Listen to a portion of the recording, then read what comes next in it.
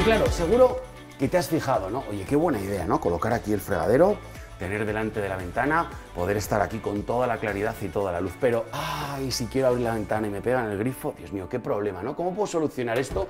Pues es muy sencillo, hay un montón ya de grifos preparados para colocar delante de las ventanas. Este grifo de plados simplemente lo empujo hacia abajo, el selector también lo dejo hacia abajo y como puedes ver, fácilmente abro la ventana cuando la necesite. Aunque nuestros clientes nos contaban antes de empezar a grabar este programa que teniendo doble ventana normalmente abren la otra o abren hasta aquí para ventilar. Estamos viendo como en este proyecto el grifo, una vez pliega, libra perfectamente con la altura de la ventana. Pero ¿qué medida exacta es la que tiene el grifo una vez pliega al 100%?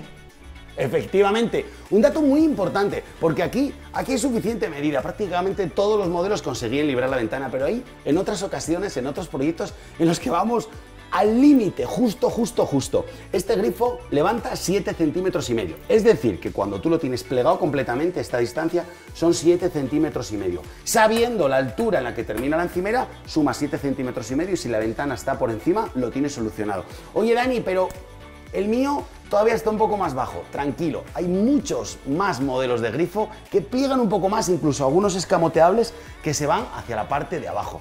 Y quiero decirte algo muy importante.